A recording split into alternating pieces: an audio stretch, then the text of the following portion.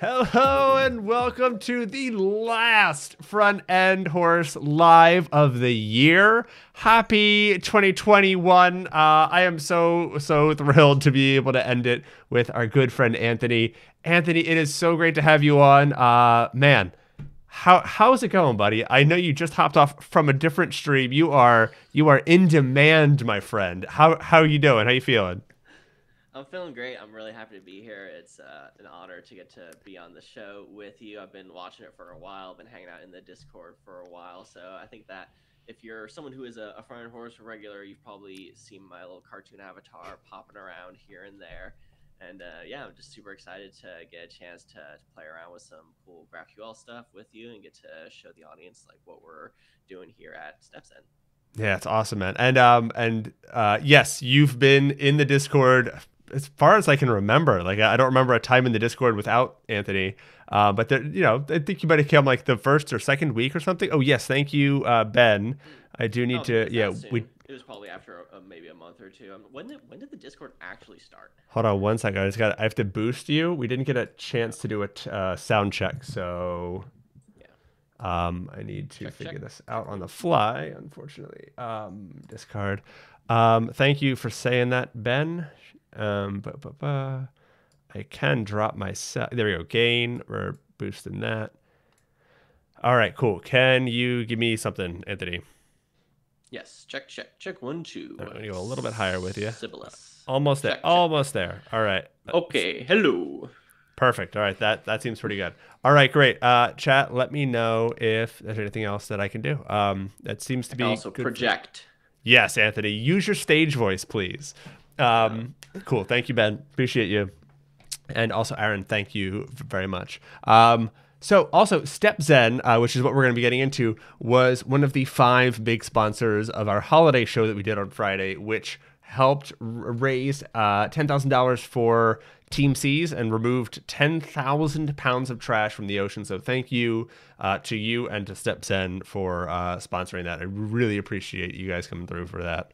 Um, yeah, Yeah, just- definitely. it We're happy happy to do it. Yeah. So, um, so yeah, you've you've been around for a bit. StepZen is now like you know a, an integral part to the front end horse stream and the front end horse community. Um, let's get into it. Uh, first off, what is StepZen? What Yeah, what are we even going to be absolutely. doing today? Yeah, the this it's a hard to give a succinct definition of what StepZen is without using a couple terms you need to define. So I would call it a GraphQL API gateway. And so the first thing there is that an API gateway is something that kind of sits between different services. So if you want to say like talk to a database, you will usually do it through like an API gateway is a very common thing. Like the AWS has a service literally called API gateway Right. and but it's usually a REST API. And so Okay. REST API has its will have its own kind of bespoke way of taking resources and doing mutations and stuff like that. Whereas GraphQL is a standardized query language for APIs itself. So explaining StepZen requires explaining GraphQL also, but um, I would guess like you, I know you have a little bit of GraphQL experience from doing Gatsby, and I think that's probably where front end heavy people will kind of have seen that the most. But the cool thing about GraphQL is it's actually like a very simple, concise language where you just write either the word query or the word mutation, and then you name it, and then you kind of specify like what the query is and what you want back from it. And so we're going to be everything we're going to be doing today is going to be GraphQL, and then there'll be certain things that are kind of specific to StepZen because StepZen, the point of StepZen is to take different kinds of backends and turn it into a GraphQL API. So whether that is a REST API or a database or even another GraphQL API, because it also will stitch it together into a single graph for you. So if you've ever used Apollo, you may have had this issue where you had to figure out how to get a bunch of different data sources together and then write resolvers that will move throughout different pieces of that backend to find the right pieces of data and then stitch them all back together into a single object you can query. Whereas with StepZen, it does that for you automatically. You just write a bunch of schemas and then you can query it. And so what we're going to do is at the end, we're going to have like one giant mega query that's going to hit like five or six backends all at once and get the whole the whole data in one go. So that's kind of like the, the high level pitch, like what is StepZen. Got it. So it's a, it's my one-stop shop for all the data that my project needs, basically. Yep, that is the idea. And whether that backend data is living in a CMS or in a database or in just some random endpoint some developer gave you at some point in time, I said, here you go. Got it. Yeah, because I mean, I I know with my projects they might start out where it's just from like I, I have one source of data, and like for some of my projects, you know, that, might just be Prismic, um, or it might even be Markdown, or just you know, uh, Supabase. Like we we just did a project that n- needed to fetch um, the donations from Supabase, but then as you continue to add on to that project, you need to keep piling different data sources onto it and it starts to get kind of clunky and starts to get kind of annoying with like how like all right i, I need the Supabase data to integrate with my prismic data and all these different things you have to like kind of handle that so if i have a uh, uh, a I'm, I'm trying to think of the the exact phrase you use a, an api gateway Yep. Mm-hmm. Um, that can handle that and kind of you know manage the, the, merger of that data for me, and I just have to talk to StepZen and not all these like ten different data points. Uh, that sounds like it. It sounds like what I love about Gatsby, um, and so that's that's uh, you, you got me interested. I my interest is yeah piqued. yeah. And so the the yeah. term you know data or content mesh data mesh yeah. these are terms that, that come up frequently with with gatsby they were calling it a content mesh and that's a i think a really good term for it because it's just kind of unifies it all into one kind of fabric but um the you also hear now the term GraphQL mesh being used by the guild because they have an open source project that does a similar thing to StepZen in the sense that you can take all these different backends with different languages and types and put them all together into one thing. The main difference, though, is that with StepZen you're also getting a full hosted experience as well. So nice. when we're be when we'll be building out the project, you now have an account in StepZen that you created, and you'll be able to run a command that will deploy your endpoint and that actually gives you a deployed endpoint that you then could use in any front end you want. So for someone who already knows how to work with a GraphQL API, knows how to send queries to it from whatever your favorite front end framework is, you will immediately have an endpoint that you can start querying and, and working with, which is really, really cool. Great. Love it. Um, yeah. So how do we, uh, how, how do we want to get started here? And yeah, so the first thing I see we'll Michael do... Chan in the chat. Great to see you, my friend. Yeah, always, always another good support. buddy. Yeah. Yeah. Good to see you. Um, don't we start? You can clone the the StepZen boilerplate that cool. I had um shared with you because this is a this will be a good way that. to show. I'm a step ahead, Anthony. I am okay, ready. I'm here. So I, I did a few things to prep for the stream just to kind of fill in chat in case you are coming here looking to uh, f- follow along. Um, I cloned this down. Let me actually grab this repo for our friends. Uh, that is, is this it? No, that's not it. Let me, let me actually find that for them. Um, and then let's, uh, oh, oh, so, so I cloned this down. And then what mm-hmm. I did, yes, I want to go there, um, was I installed the StepZen CLI, right? Yep. Mm-hmm. So those yeah, were kind so of the StepZen the only two CLI things. is what you're going to be using to actually deploy and interact with it. So it's really sweet because you just run a single command, StepZen start, and it does pretty much everything for you.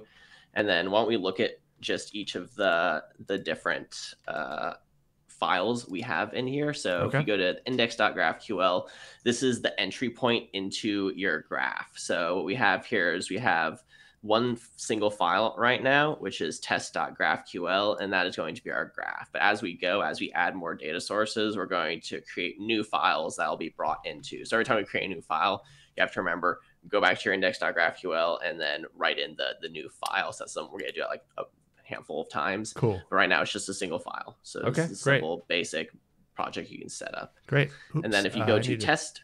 Hold on. Yep. If you give me two seconds, I would have turned that bot off if I can manage it. Yeah. Oh no, my keyboard is. Uh, let me see if I can turn that off super quick. Sorry about that. Uh, first stream since the uh, the fundraiser. Okay, it is off. Thank you for letting me do that. Super is that quick. for the the snowtacular? Yes, that, that that was the donate link. You can still donate, but yeah. I don't want to spam. Uh, I decided actually I really like trash now. yes. uh, cool. So so sorry to cut you off. I just I just saw Yeah, that pop up and. I wanted to Mhm. nip that. Uh, cool. Yep. So I want to go where now?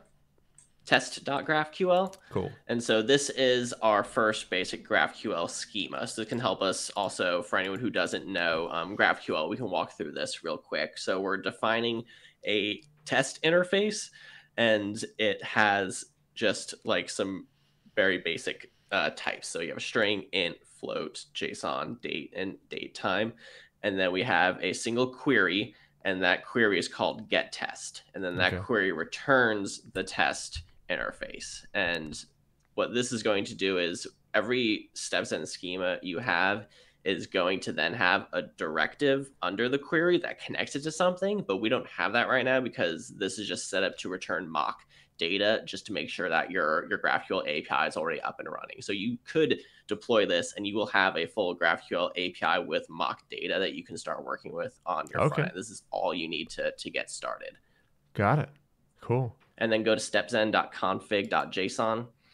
This will give us a endpoint name, and so right now it's going to be API forward slash stepzen dash boilerplate. So this is going to be like preceded by like stepzen.com and like my my account name and then it's going so I can determine what this is called and what this looks like beyond the hosted StepZen instance, right? Yep, exactly. It's going to map to your name and your own custom domain, and so anyone can deploy this, and we'll have the same part at the end, but everyone will have their own part at the beginning because it's being hosted on their own account. Cool. All right, great. All right, and then let's go ahead and run StepZen start and see see what happens.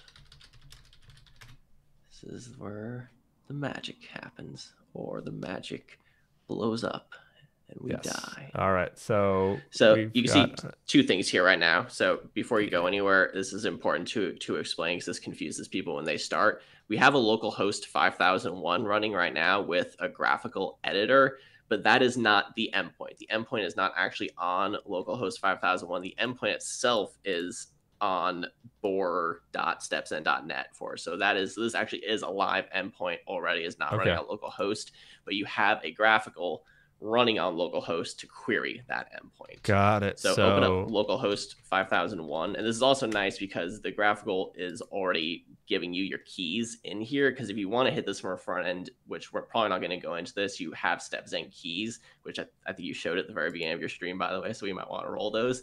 Ah, cool. Sounds because good. it was in your account. It was it was showing those. So Oh, that's how they- you actually they just access show. that. Got But it. this Okay. is being um this is being included in your GraphiQL right now. Got it. Yeah, we might want to tuck those behind a little like show button for future reference. Yeah, yeah, it, it should be. I'm not Yeah. sure why why it isn't. All but, good. um, so let's just write a, a t- so actually first thing, open the Explorer Cool. and then hit Get Test, and then hit all the buttons except All- Test Mock. Sounds good. Got it. There you go. So there's our first GraphQL query, and as you can see, we're getting back all of our different types. So you have the date, and then you have a more specific date time. You got your float, you got your ints, you got your JSON. One is just like an empty JSON object. So like you, can, you have kind of two JSON test cases here. of Like what happens if they just throw an empty JSON object? You can figure that Got out it. as well. So yeah, so now this is just like our kind of first get up and go kind of thing. So yeah, Cool. questions so far? Um, not from me. No, this is this is making sense so far. So this is um like just I I, I think one thing I had to make sure in my head just because it's string string. The first one is just the name, and the second one is the type. Yes, yeah, that's a little confusing based on this example, but that's exactly the thing. So you wouldn't necessarily have to call these like the exact same thing. That's just Right. so when the data pops out, you can actually see what's what. But um, yeah. You could call it anything, and then it would just return either the string or the int or the float. So, and like, as the long as I- exclamation point, Do like that, Means- and basically yeah, um it'll it should if I refresh maybe is that you'll refresh, and then the explorer will be, yeah. So try name oh yeah name there it is all Cool. the way at the bottom. Yeah. Yeah. So obviously that's Yeah, not a, a real name, but I just want to kind of like point out this is the like the, the the key here is what we're calling it, and then that's the type, and then the exclamation mark means it's required. Is that correct? Yep, exactly. Cool. hmm Awesome. Yeah. or, can't, or non-nullable can't be nullable. got it. Cool. Thank you for Mm-hmm. that clarification. Um, awesome. Yeah. So this is good for me. Uh, so far, Awesome. we've we've we've got a an, an endpoint, and that is live here at. I don't, I'm not sure if chat can see that, but um, down at the bottom, it Yeah, has mhm. the bore.stepzen.net. So that's that's already been deployed there, and we can hit that um, on that end, uh, just as long Mm-hmm. as we we we send it an actual request. Yeah, and so one thing that I like to do is I'll then have like an Insomnia open where I'll test that endpoint from Insomnia, and then I can put my key StepZen keys in Insomnia for the header, and then work with it that way because it's uh it's nice to kind of like just get that verification. It's like okay, it's working through like the the StepZen thing, but it's like what if I just actually hit this from any API tool? Say they Postman, like we did a, a Postman stream where they they showed us how to how to work with something like this with their GraphQL stuff. So most API tools now will have GraphQL specific tooling and Got like it. autocomplete and type checking and, and stuff like that. So that's all pretty great. Awesome. All right. All so right, now cool. though, um, so Um, the, Cynthia, the data was question. populated. Um, yeah. Yeah, Oh, just as mock data. So this is why I'm starting. This is the first example. This data is not coming from anywhere. This is just what StepZen does. If you don't actually give it a real endpoint, the next one we're going to do though is going to use the JSON placeholder API though, and then that's where the data is going to be populated. And then we're going to show how to do like a database. So that there's going to be data from lots of different places. Right now, this data is nowhere. It's just like built in two steps StepZen as like a mock test thing. Cool. Yeah. Awesome. Good Good, question. question. Um, great. so now what do we want to do? Let's create another file and let's call this um, users.graphql. Cool. Yep. And then we're going to create not an interface, we're going to create a type this time. So it's going to be type user. And then capitalize user. Yep. And then curly braces. Yep. And then we're going to have um, an ID. So a lowercase ID colon, then uppercase ID. ID like So, um, that or Yeah, uh, both both capitalized, both Cool. IND. Yeah, because that's a another GraphQL thing is that there's usually an ID for each uh, type and things like that. Got. Hey Steph. And then now we're gonna add just a bunch of strings, which is gonna be name, username, and email. Uh, you want capital name or These will all be lowercase.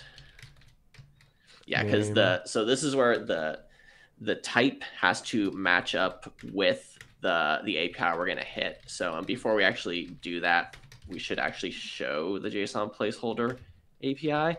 So Okay. um, last one was email string. Yeah. and do you want these So, um, um, non-nullable? Um, let's put exclamation points after all of them. Yeah. Okay. Oop. Cool. All right. And then let's do uh, type query now. So outside of the the type user. yeah, my keyboard's being funky. Uh, Good. Yeah, luckily there's not a whole lot of code typing that we'll be doing in this as you see, like the stuff we're writing is going to be very, very concise. So cool. got your back. Now we're going to do um, get mock user. And you do it camel case. Cool. Yeah, or sorry, users. Yeah, because it's going to return an array of users. Okay. Yeah, and then do colon, and then inside array inside brackets, uh, do the user. Yeah, Like that? it'll be yeah exactly yeah. So basically, what this means is that it's going to return an array of these user objects. Cool. And that's the whole query. And now here's where the StepZen stuff comes in. So you're gonna um, make another line under get mock users, and then um, go over two spaces or tab if you're one of those people, and then do at rest. At rest. Yep. So all lowercase. Yep. Cool. And then um, parentheses. Yep. And then all lowercase, just the word endpoint. Yep. And then colon. And then quotations. And then inside there, you're going to use the the JSON placeholder. So uh, do you want me to read it out to you, or do you want to just grab? I dropped it in the chat. Um, yeah, I'll grab it if you think it's a little too much. Um, is it the gist? Where are you dropping it? Oh, did you drop it in the chat chat? Ah, you did. Put okay, it chat. got chat, it. Was not Discord one. sure. Yeah, which which is easier for you for when I'm Um, sending you stuff. if you want to share it with chat, like if it's something like, hey, here you if you're following along, or if or, if, or if Mhm. you want to you know like share docs with the chat, um, that works. If it's not something that like the chat's really going to care about, um, then you can drop it in the DMs uh, that you were using before. Either way, I'm gonna drop a just a gist also, which is essentially like a script of kind of what we're what we're doing here. Cool. People really really want to follow along, but that's not really Yeah, necessary. so do I just- confused if you start looking ahead? so I do this, like I drop all that in there. no, no, no, no. Okay, Yeah. So so just the like the endpoint. Yeah. okay, Just, just, the uh, URL. Exactly. Yeah. Got it. Okay, thanks. Exactly. Yeah. So what's going on here now is this is essentially telling StepZen we are going to run a query with that type that we've defined, and then it's going to resolve it with this endpoint. Okay, got it. So now let's save that and then go back to index.graphql because we have to now add to add the our- file. Yeah, exactly. Yeah. It'll just be exactly like that users.graphql. Cool. You know, All and then you can go back to your GraphiQL editor and should be yeah. Uh, so this one so does this one, and um, yeah and you should refresh anytime you you change something because then you'll have it in the explorer for you Cool. yeah so this is Um, really great because like you don't really even have to know how to write these these queries technically Right. and this is yeah this is kind of a, a problem unfortunately because of your screen resolution right now normally it's it's not as big of an issue Yeah, but this is not a StepZen thing. This is a GraphiQL thing. The editor that yeah it's is a popular open source library that we're just kind of sticking our, our logo on Yeah. top of yeah. uh, But I mean, that's that's what Gatsby and everyone like. It's yeah, Uh, Mhm. yeah it's a wonderful tool. Um, so we're gonna go let's ahead. just do all all four of those yeah Awesome. yeah, Okay, so, so- that is pulling that from here, right? From this Le- Leanne Graham. Is that what it's doing? Leanne Graham. Yeah. Cool. Okay. Yeah. So now you can see that we, if you've ever done GraphQL before, this is where you would have to write resolvers in like Apollo server because you have to be able to hit the REST endpoint and then write essentially JavaScript code to then take the object and map it into something that makes sense to your schema.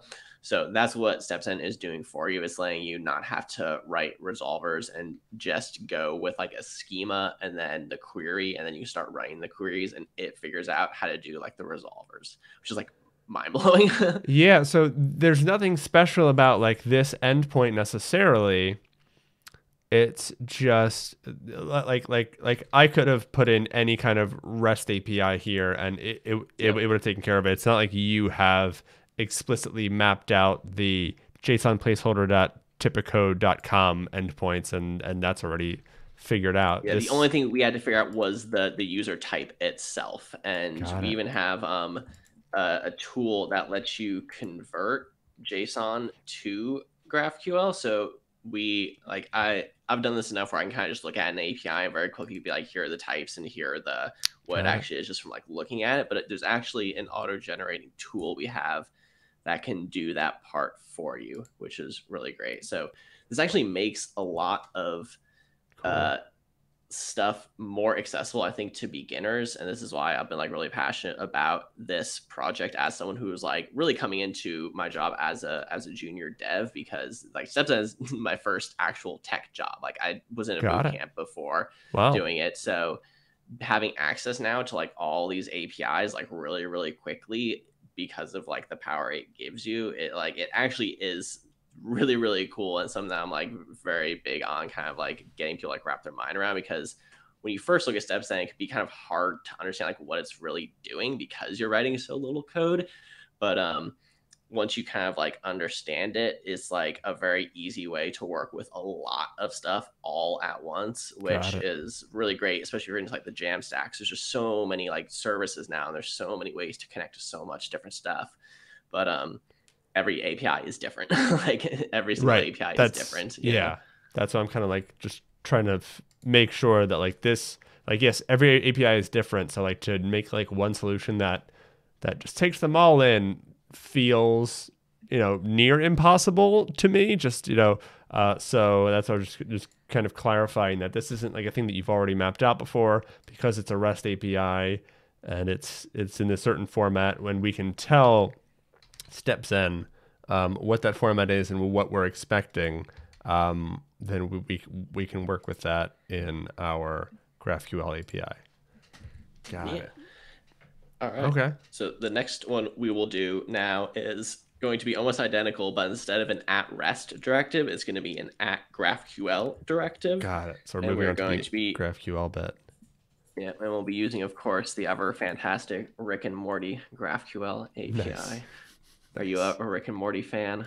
I have n- no. I'm I'm not. Not not not because yeah, I just haven't really gotten into it. The fan base keeps me away, to be honest. Oh, that's too bad. I'm Yeah. a fan. I'm a fan of the show, but I I've been fans of lots of things with terrible fan bases. I used to like Tool, so I get it.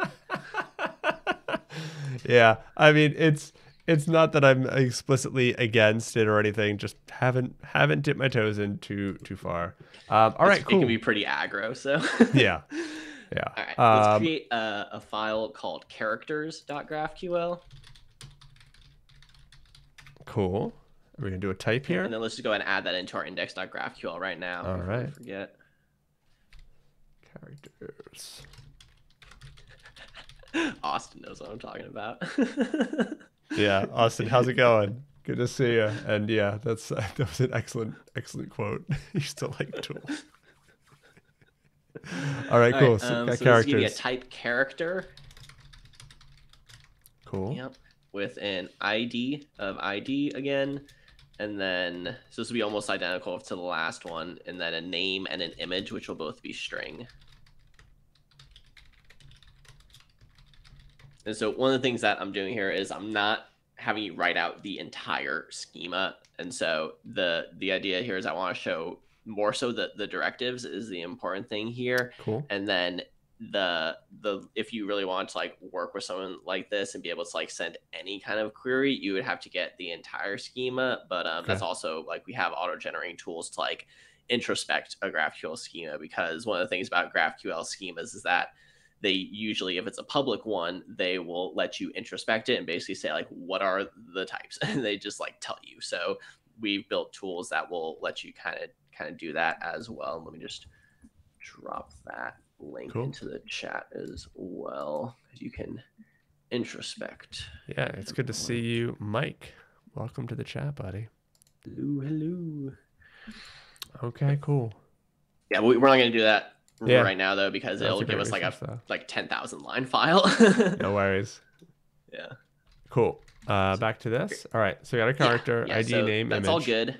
Yeah. And then we're then going to create a type characters. And so this is because the Rick and Morty API is kind of nested in the sense that we're the thing that we really want is going to be the characters. But to do that, we have to do this. So do results all lowercase. And then comma, and then in brackets, uh, character. Or sorry, not comma, uh, colon. Sorry. Sorry, not not comma colon. Yeah. Got no- it, cool. No commas. Uh, yeah. Like that.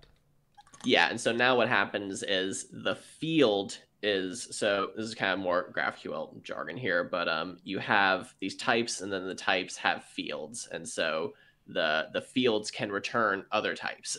so this is why it's a graph, and that you could just have things nested within each other as much as you want. And so now we're going to then write a query that's going to return characters, but it's Okay. not going to return characters in a bracket. Okay. Not following yet, but Oh. I will once it comes back, I'm Yeah. sure. Yeah, so just do a type query.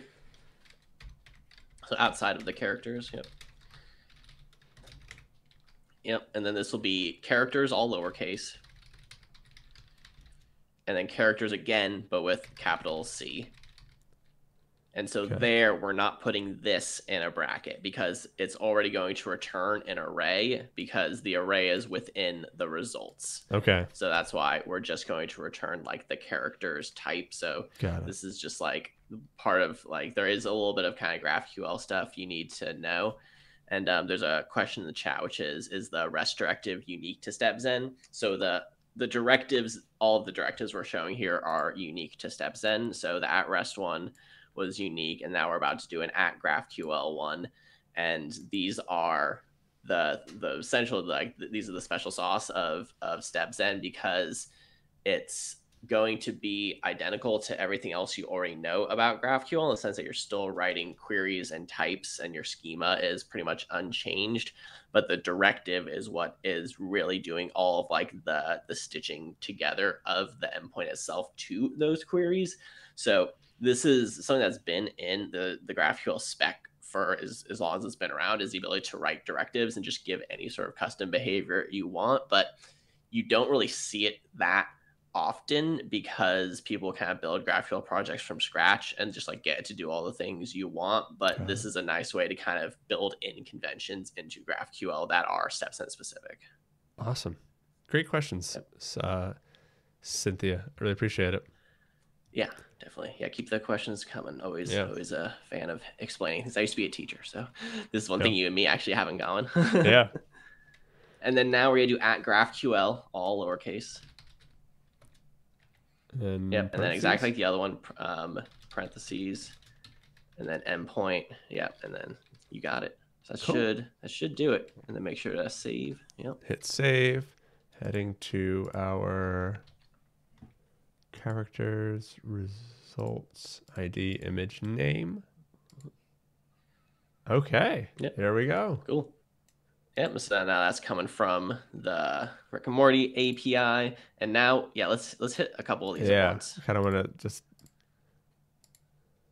So we have our characters up here at the top, and then a little bit further we have our mock users, and then uh, oh, oh I guess that was it. Uh, oh, the get test. Was it was that? in the middle. Ah, okay, got get it. Test. Yep. Mm-hmm. Perfect. Awesome. Yeah, cool, right? Yeah. Yeah. So now we're able to just basically work with the entire thing as if it's one unified graph and you can write any kind of queries you want to get any sort of data and this is really this was the promise of graphql from the beginning is that you would be able to do this with your front end people this is something that the creators of graphql who worked at facebook at the time they have said that they started from the mental model of a front end developer and worked backwards from that. So they basically said, what is the nicest possible query we could write, and then create an entire language to facilitate writing those kinds of queries. So this is why Steps StepZen kind of really leans into that. And you can do stuff like this, right? Where like, I, um, if if I wanted to have a different name, I can like the, the, there's just lots of small details in GraphQL that make it really mm-hmm. nice to work with. Um, mm-hmm. So yeah, I don't know. Uh, this is this is really cool. This is exciting. Just how quickly we're up and running with this. Um, mm-hmm. We uh, like you said, we did not write much code. Uh, specifying some of this stuff was pretty pretty simple. Honestly, this this is really interesting. Um, yeah. Yeah. I can't believe we, we've already got like three different API, or I guess two different APIs built into this? Yeah, two APIs and uh, and, and then just some mock data. But and the then now great. we're gonna get a database. Okay. All right. Nice. Yes. Uh, checking off the GraphQL we, API. We're but it can't just be any kind of database. It needs to be a super database. Super base database. Got it. Nice. Awesome. So uh, it's great because I know you already know how to how to use Supabase at least a little bit. Clumsily, so let's, first, let's at least. Spin it up. That's, spin that's... up the database because it takes a minute or two, and okay. then we'll start writing code. How do you want me to do that? Do you want do you want me to use one of mine? Um, I mean, if you if you want, you can just make a, a brand new one, or I can make a new one. If you hit your limit, you just make a new organization, then you can make more. So, um, yeah, I mean, I can spin one up. Give me one sec. Yeah, yeah, and then I, I can talk a little about for people in chat who may not be hip to all the million new like dev tools companies out there. Supabase is a way to host a Postgres database in a like really really nice UI interface because they want to essentially mirror the functionality of Firebase, but with a relational Postgres database. So if you're someone who's ever used Firebase before, you know that it's not just a database; it's also like a, a querying language and client libraries and authentication and storage and serverless yeah. functions and and and and and and. And so Supabase is the equivalent of that built on an entire open source stack, which is what I'm a really big fan because I like using Postgres. It's what I've been using all the time. I've been using Redwood, so I'm like very familiar with Postgres. I use it all the time. So having the ability to just spin up a Postgres database in like a minute or two and then just start using it is really really powerful because it's like you'll never need to install postgres locally like ever again because these things just work so well and they're free for the most part Yeah. so it's and it's like great for beginners who really just want to like get their hands on a database but don't want to have to like worry about breaking something or paying like a $40 bill to amazon because their database was the wrong kind of database and Yep. all this kind of stuff you know Yeah, and everything that includes, um, like they have auth, they have storage, they've got whole whole bunch of stuff now. It's just, uh, it yeah, it's great, great little service. Um, and and there's a few of them too. Like I, I've been using Supabase, but PlanetScale's another one that's kind of up and coming. Um, Fauna DB, right? Yeah, I've, I've used almost all of them. I'm actually a really big fan of Railway because Railway is uh, Postgres and MySQL and Redis and MongoDB. So you can use any of those like just as an add-on. So you can Oh. actually have multiple different types of databases all at the same time, which is really weird, but works pretty dang well actually. So Huh. there's um Cockroach DB, I think also had a serverless offering I've now. heard of so if you're into like databases, I this is like a golden age of like databases right now. Cockroach DB is just I don't understand. I don't I don't know why they would name it that. I, I, I don't know, but anyway. because the database can't die. right, but I mean, like also like, uh, right? Like not not a lot of people like that thing. I don't know. Anyway, uh, E- Egad says Railway is dope. Yeah, I, I think we might be trying to play with it after Supabase. Is is that right? I don't know. Um, we'll see if yeah, we if it. we end up with enough time, because I, Cool. I have um uh, another example that will involve uh, like a Redwood backend with with Awesome. Railway. So yeah, awesome. see if we, we get to that. Um, so I do have Supabase up. Uh, would it be fine if we use the data that we just uh, worked with on Friday for the donations? Is that cool? Or, or do we want to do Um, something totally different? Do we want to So just do it from scratch? we're gonna want a fresh a fresh Okay, database because because what we're gonna do is we're gonna show how to essentially hook in to the RESTful API. So yeah, we're gonna want just a, like Got a it. fresh So database gonna or, or a do a fresh s- table on a database. That I'm would going to do a fresh well. table called StepZen. Um, all right. Do we want anything? I'm to pull this over. Hope this isn't um, like all this stuff's been public created out. This is th- th- this should be all fine. Um, anything here that we want to? So yeah, Yeah. so then uh just add a column.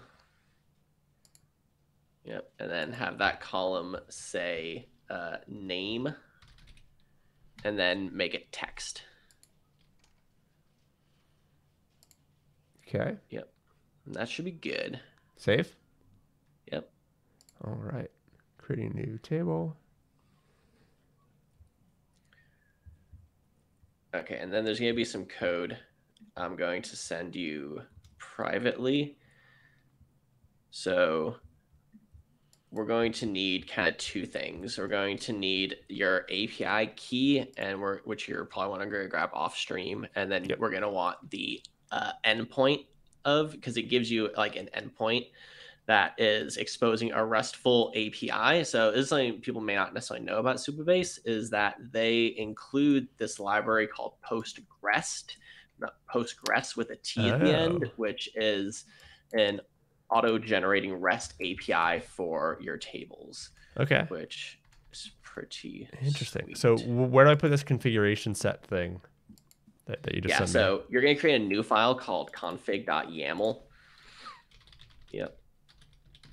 Okay. Yep. And then there's where that's going to go. And then where the XXXX is, that's going to be your API key that you get from your Supabase dashboard. So that's what you want to make sure you don't expose. Um, and where does the endpoint go? Or, or oh, we're, we're going to use that in the GraphQL query, like like we've been using. yeah, so cool. yeah, I I popped you uh, another big hunk of code. Make a, a new file called book or uh, yeah, books. Okay. Um, so uh, we want the public key or the secret one? Just probably the public, right?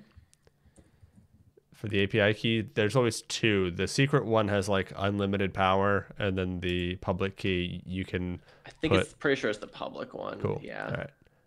Um, all right. Saved that. Closed to that. Make sure I don't open that.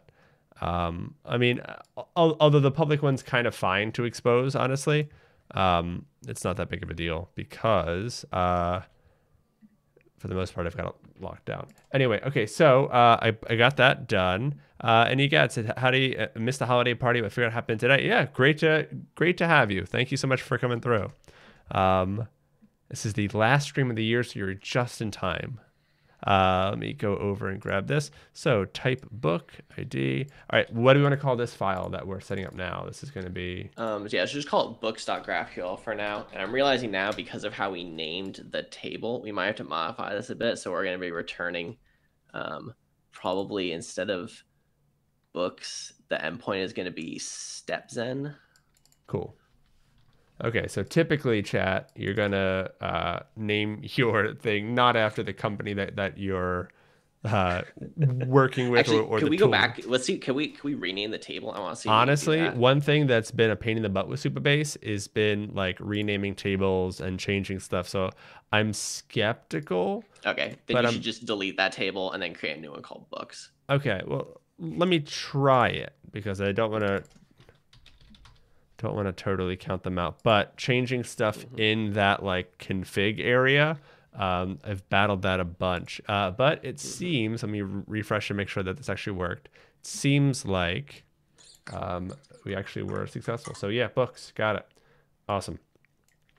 But yeah, okay, I, great. I have and then the only other thing you got to put in is the. XXXX on your endpoints. That's also something you'll be able to get. So this is because you're already having that REST API exposed. They give you this endpoint, and then all you do is add on uh, a route for the like the name of the table.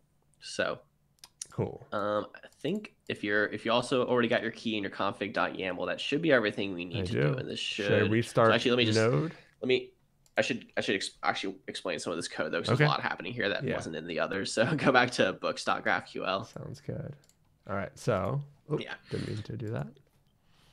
yeah so the the first thing we got here is that we're including now a configuration along with the endpoint so if you look at the at rest below books it's very similar to the other one we were doing where it has the endpoint and then you put the endpoint in but also now we have uh, headers with an api key so this is where when you're actually building real projects that have like stuff and that you want to secure you're going to have Got it. api keys you're going to have auth headers you're going to have all this kind of stuff, which is can be like really hard and confusing to to manage. So StepZen basically says all of your secret stuff will always be in config.yaml. Everything that is not in config.yaml should not be secret stuff. So it lets you have all the stuff you want to actually like not lose.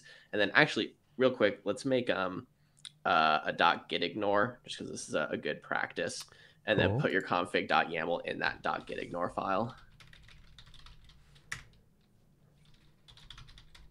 Uh, thank you for the uh, follow. I'm I'm mostly disco. Welcome to stable. Good to have you. Cool.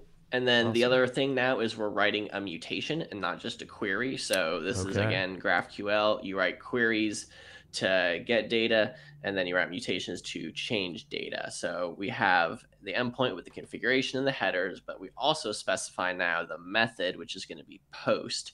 And then we're going to do a post body. And if you look at the post body code, this is like the one kind of area now where stuff gets a little bit hairy and where Yeah. it's going to be useful to have some steps and examples already kind of written for you because I've figured out how to write this absurd thing right here. Because you got to do Okay. a lot of like character escapings and, and stuff like that. So it's basically doing a dot get to grab the name, which is going to be what we're going to input into our create book because we want to be able to give the book a name when we created it. So we're going to write a GraphQL query to create a book, and then you're going to give it the name, and then it takes that and it maps it to the to the post body. So if we go back to our GraphiQL editor now,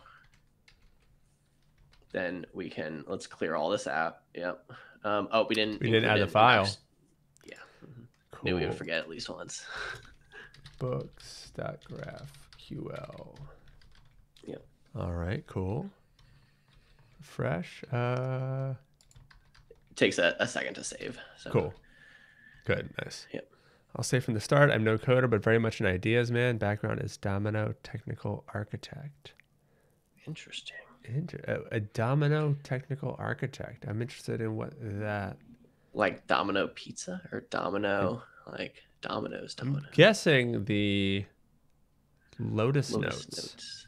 I'm not. I'm not as familiar with those. I, I've I've I've heard of those, or I've heard of that. Um, Hmm. but that's really interesting. It's great to have you though. Always Yeah, great. hanging out. I'm I'm a big believer in um, outside perspectives. Uh, both Anthony and I come from different backgrounds as well. Mm-hmm. Uh, so yeah, we are not classically trained developers. Um, Yeah. So yeah, definitely welcome the outside experience. Uh, So okay. hold up. Yeah. Sorry, So I, I just got, I got, I got clicky. Uh, Yeah. Right. Yeah, but there should be a create book.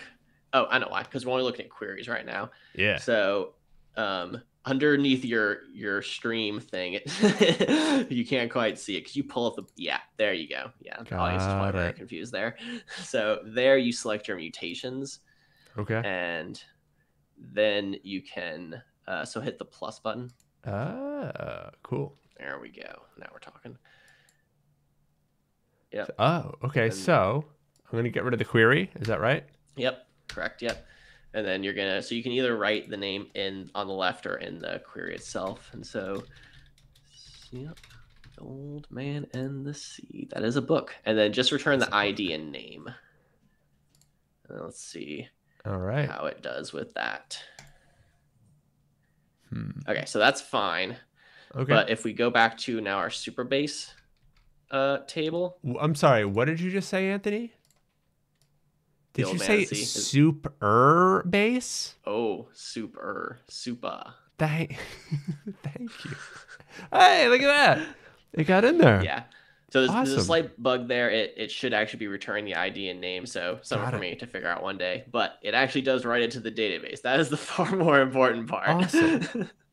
That's really so now if we do the book's query again, we should actually get back the the book. Oh, nice. Okay, so um, how do I close out of the mutation? How, how do I get the queries back?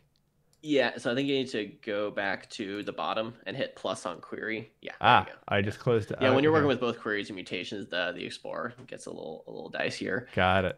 All right, so Yeah. books I should be able to get to the back. Awesome. All go. right, nice. So with StepZen I can create mutations that uh, work with these same databases that I'm able to query from, and just through the one tool. Like once again, like I can't tell you how much I enjoy just using one thing, learning one thing.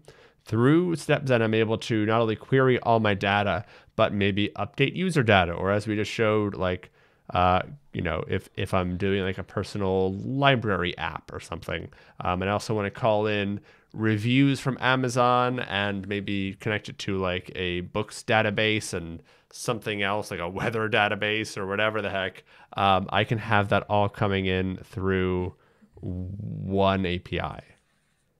Mm-hmm. Exactly. That's really nice. That is really nice. And so, someone Ben, what? Oh, watching get exploration actually just know tackler infrastructure in real time. Yeah, I right. Because so. yeah, I mean, because yeah, that's kind of what we had to do. I had to, um, because TeamSeas, the the charity that we raised all the money for, uh, because TeamSeas had an API that was open, like we didn't need to authenticate or anything for it, but we also it also wasn't documented, so we didn't know how to use it like beyond just a quick uh, request for the team f- front end horse. Um, it was paginating at 150 and we had no idea how to go beyond that first page of results. So we set up a supabase to uh, basically hold all of the um, donations just in case we hit over 150 and we were close. We are like at like 125 or something. So it, it was it was a good call to have that as a backup because if we hit above 150 all of a sudden our donations would have started like waffling back and forth, right? Because it's just been like 150 and it it wouldn't, wouldn't have really grown. Uh, but we had to like combine these two different um, points of data, and uh, yeah, it was it was it was a little bit of a pain in the butt. But having something like StepZen uh, to kind of manage all those things and to manage you know more uh, the as as we grow and scale this thing is uh, is super cool. Um, Yeah, I can answer. Your, uh, can I ask your advice on something? Can wait till later if you're busy. Yeah, feel free to drop any drop any questions in the in the chat. Yeah, We're always, always happy to. It's not just Anthony and I here. Uh, we've got some fantastic, much more knowledgeable people than I uh, in the chat. So absolutely ask away. And if it's something that you know, it's like, oh yeah, I'll, I'll be I'll be happy to you know give you a more fleshed out response. Either we can take it to the Discord or um, I'll I'll let you know. But there's a good chance that people like Ben and Michael and everyone else who's who, who's in chat. Yeah, uh, you got got quite the hive mind you've built up. you've, you've got good folks there that that, that can definitely help. Um, awesome. So we connected a database not only to read from. I, I didn't expect us to be able to write to it so easily. Um, hmm it was a bit of copy paste, but not a ton of code. So that that's awesome. Yeah. Yeah, like that's and I think where we're at right now with time, we'll probably skip over the the fauna one because there's also if people check out the the gist, there's um also one example where essentially we're going to do we would have done the exact same thing with Supabase but with fauna, and then that goes through a GraphQL API. So there you're just writing regular native GraphQL mutations. You don't have to do that weird post body kind of thing. So that's like kind of the next step. That's like even nicer. But um, yeah. So if you want to just go down to the fauna section.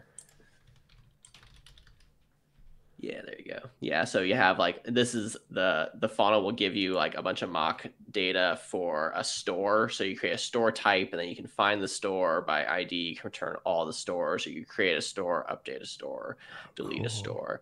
But um, I think pre- I think people pretty much get the get the idea at this point of the the GraphQL endpoint and the config and kind of stuff like that. All right, well that's a that's a long one. Yeah, a tool I want to build a basic code, but needed touching up as I'm no coder. I gotta flower it up, so to speak. I paid him five grand. Whoa, that's a lot of money. we can. Uh, I- I think we can come back to that in a bit, Anthony. I I don't want to cut you off. Yeah, but I, I think maybe Ben in chat or or someone can. Um, yeah, it seems like a detailed question that I I, I definitely want to help out. Mostly Disco, just don't want to derail this entirely. But I I appreciate you bringing it here. Um, so Yeah, what do we totally. what do we want to do next, Anthony? Yeah. Next, um, I want to show you how Redwood works. So Okay. just follow along with Exciting. the Redwood API with Netlify functions. So if you scroll down just a little bit more, Cool. got a command right there, create some horses in. So um, just Should grab that. grab this? whole Okay. command. Cool. Yeah. And then Um, just run I- that baby. All right, I did. Uh, actually, no, I did not. Okay, I was, I was, I was lying. Uh, should I do it in the boilerplate or outside? Outside the boilerplate. Okay. Yeah. Yarn create redwood app, horse and redwood. Yeah. Nice. And you actually you should uh Oh, I, I can stop it. I can stop it. No, no, Stopped. no, no. Is that you should? Uh, well, now this might create a folder. Now you're gonna want to delete. So first, delete that folder if it created a folder, and then get a new VS Code open. It did not create a folder. We are good. Okay, great. Yeah. So just get a new VS Code open, Okay. and then keep this one where it is. Yeah, because you you can have your Redwood project and your StepZen projects both nested inside of each other if you if you want. But this yeah like kind of simplify our lives. We just keep them keep them separate. So Okay. Cool. Go ahead and run that command. And then this should take like two minutes at least. So Okay. let's talk a little bit about what Redwood is because Yeah. I know you've heard of it, but you've never actually used it. Is that correct? Correct. Yes. So with uh, Redwood, so Redwood is actually how I got into kind of the whole like open source coding world in general. Uh, the my job at StepZen it was actually a direct result of the work I was doing on Redwood. So it's a full stack JavaScript framework for apps. And it's it says here it's for for startups, but honestly, like, I'm not building a startup, and I use Redwood all the time. You can use it for all sorts of things. You don't need to necessarily build a startup with it, but the idea being that it's a great tool for getting going really fast with a full stack project. And so when people say full stack these days, it's not always clear exactly what they mean because people refer to things like Next.js as a full stack framework. But with Redwood, the, the real big difference is that it includes an ORM, which is Prisma. So have you ever used Prisma? Um, no, but I have used ORMs before. Um, and thank you for the bits, mostly Disco. I appreciate it. I, I will be reading that and checking that out. Thank you. Okay, Um, th- this yeah. will be yeah, this will be great then because we got a, a Prisma uh, employee in the chat, Austin. Oh, Austin. Yeah. Okay. Yeah, hmm yeah, and so Prisma is We've got to talk, ORM buddy. yeah that's you should definitely get him on to, to show you some prisma stuff so it's a way to turn javascript into sql because we all know that we just want to write javascript that is the only thing we want to do no Please. one wants to write sql even though Uh, they that- probably should learn javascript should learn. learn at least a little sql I should learn more. I, there's so many things I should learn though. Yeah. Yeah. But anyway. But um, the great thing about Prisma is that you don't necessarily have to ever worry about writing SQL ever again. And you also will be able to use it to do migrations on your database. And so this is part of like the real power you get, which is the ability to set up your database with the table. So the thing we did manually through Supabase's UI, we're going to do programmatically through Prisma now. Okay. Oh, nice. Got it. Got it. Got it. Okay. So uh, my ORM experience, just so you kind of know where I'm coming from, is mainly through Django, the Python framework. Great. Like, yeah. Yeah. So I really enjoyed their ORM, and that stopped me from having to do a whole bunch of SQL stuff, and that was kind of a joy. Um, and that Yeah. was like my 1st They're- web they're dev project. Yeah. So ORMs are very nice. Um, I'm a fan. So uh, should we check on that install and see? Oh, we're still Yeah. running. Cool. Oh, So, and Redwood has going- Prisma under the hood. Is that correct? Yes, so Redwood is bundling Prisma for you, so you can use Prisma just by itself and bring it into like a Next.js project, or uh, this is a common thing now with Remix. If you follow like the Remix docs, they'll show you how to bring in Prisma as well. So Redwood is saying we want to just assume from the beginning that you want Prisma and actually bake it into the CLI itself. So we're going to run some commands that are prefixed with Redwood, but are actually just aliasing it to a Prisma command. So when you're learning Redwood, knowing where the boundary between Redwood and Prisma actually is can be a little fuzzy until you've kind of like gotten through the process of like ripping Prisma out and like seeing what breaks, which is a fun experiment, but not like really that recommended. Like you, you should probably at least when you're learning stick with just using Prisma, and then you can already have it so you don't need to figure out how to integrate prisma into your project it's just assumed by default and there's a lot of kind of like nice downstream effects of that Cool. while that's still going though let's open up railway um, we are here. It looks like we're Oh, great, good. cool it takes longer on windows than than mac just to, unfortunately so normally that would take about half the time if you ran it on like an m1 but um this is I don't know why my why my code uh, thing broke. I don't know why this happened, but ever since I, I can't open VS Code uh, the fun way. So Horsen. Redwood. Okay, yarn Redwood dev. Open folder. Repos. Uh, is it Horsen or is it Redwood Horsen? I it was horse zen dash redwood Horse Zen. There we go. Cool. Yep. Select folder. All right, nice. We are in. Yep. All right, and should we do All right, so yarn now- Redwood dev? yarn redwood dev yeah this Cool. will kick off our dev server All right. and nice. it'll just give us a nice little splash page. Should we install? Don't worry, don't worry about that. Okay, cool. Yeah, it's That's it's cool you have an don't don't use the Redwood IDE. it's like it, it it tells you to like check it out, but honestly, like that's kind of like a, a weird beta project that does not actually work that well. So don't use the Redwood IDE. Good tip. All right, cool. It will be very cool one day. It's that day is not today. Got it. All right, so kicked off a local host. Yeah. And then this is going to give us like a kind of splash page and it'll it'll get there. Don't worry. Cool. All right, Yeah. nice. There we go. Yeah. Cool. So now that we got that set up, we want a database that we can use in our Redwood project. So if you go to railway.app, we're going to show how to do Railway. And the cool thing about Railway is it spins up a database in like 10 seconds, unlike Supabase, which does take about a minute or so. Yeah. So this is like really the fastest way to get a Postgres database up and running. So go ahead and do new project okay. What do we want to deploy from? provision Postgres. So Right provision Postgres QL. Yep. Uh-huh. Cool. So this will then assume you already want Postgres when it sets up. Uh, do you have many WordPress people in? Um, we have a Ask about that. couple, for but for the most part, Disco, we um, we tend to lean more Jamstack. I mean, which which you can do with WordPress, but typically mm-hmm. more headless CMSs. Like I I work for a headless CMS called Prismic, um, and so I don't have a ton of WordPress experience. I've been mainly using headless CMSs, um, but we definitely have some people around that are at least familiar with WordPress, but I, I, I don't know offhand too many experts. My friend Colby Fayock is really good with WordPress, um, but yeah. WebDev has let you down. Sorry to hear that. Um, so, uh, yeah, so cool. if you go to the Postgres on the left, then you can see just a little bit further down, oh, all the way at the bottom. Sorry. Yep. And then go to connect, and this will actually hide your keys for you.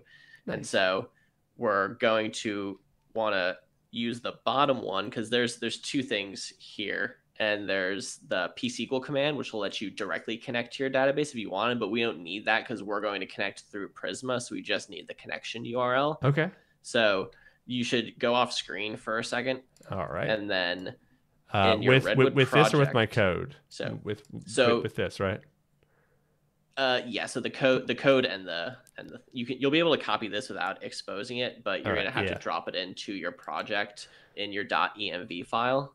Yep. Uh, .en just the dot .env. Yeah, that makes sense. Yeah. So um, in .env, it'll have a commented out part where it says yeah, database it underscore URL. So you want to uncomment that and then put the the connection string in there. Cool. Um, database URL, test database URL. Um, which one do I want? So database URL, not okay, the test cool. database URL. You can keep that. Keep everything else uncom. Keep everything else commented out. Cool. And I'm gonna turn on. Uh, nope, didn't mean to do that. Do you have cool. one of those mask your your keys yeah, type things? So um, we've we've nice. got that in there just so chat can see. Um, there is Great. stuff here. Um, it's just masked out. So Save that. That is set. Uh, do I need to restart the dev server? Um, so you will, yes, yeah. Okay. And then keep the dev server actually off for a second. Okay. And then go back to, so first now let's set up our, our schema. So let's go to the API folder. API, okay. Yep. And then DB and then schema.prisma. Yeah. And so let's just change. So this gives you a, a default model. So um, let's change that to say posts instead of user, actually just post instead of user example. This? A single word post. Yep. Cool. Yep. And then change email to uh, title. And then get rid of the unique constraint. And then get rid of name and string. Yeah. And then yeah, that should be good. We can also we could do like a create add data like something like that, but that's not really too too important to what we're what we're demonstrating right now. So let's just keep it keep it simple. So save that, and cool. then and then now run. So I'm just gonna tell you this command. So do yarn space rw space Prisma space, migrate, uh, yeah, space, and then DEV space, and then dash dash name, yep, space, and then posts. And let me explain this before you before you run it. Okay. So what's happening here is we're telling Redwood to run the Prisma command, and then the Prisma command is migrate dev and then we're creating a migration that is named posts. So this is going to create a table in our Railway database for our posts that is specified with the posts model that we just wrote. Got it. I'll be honest. Uh, the word migrate just gave me a little bit of like, um, like, oh, right. I remember the stuff I didn't like about databases and ORMs and, and like like the stuff that I struggled with being a first time developer in my mm-hmm. Python app and like like breaking stuff, like migrations can go poorly once you have a whole lot of data and you don't know what you're doing and you're doing all kinds of stuff. So I that that word came back. I'm like, oh right, there was some stuff that that didn't get me pretty hard, and I had to like roll back to snapshots and all that kind of stuff. Mhm. Ooh, sorry, just took Yeah, a so took be- a mental trip That's back in time. that's a great point though, because I would be curious when you ran migrations in Django, were you able to see the SQL it was actually using to set up the database? I don't. Th- I mean, maybe, but also this was maybe like three years ago. Uh, Great. So so run this command. And I'm going to show you something really cool. okay. So what's great about the way Prisma handles migrations is that oh we forgot one other thing, change SQLite to say Postgres PostgreSQL at the the second line. Yeah, so this is because if you want to, you could just do a SQLite database originally, Cool. but we already have a, a Postgres in there, so to do that. But what's really cool about the way these migrations work is that it's going to actually just write like a spit out a SQL file and show you what that is. So Okay. it's it's very transparent in terms of like what the migration is is doing.